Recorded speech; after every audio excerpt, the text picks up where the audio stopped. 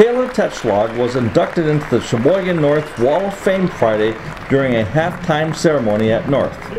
Tetschlag, a four-year letter winner in basketball and tennis, led her basketball and tennis teams to state visits. She was a standout at UW Green Bay, played professional basketball in Europe for four years, and is today an assistant coach and recruiting coordinator at the University of South Dakota.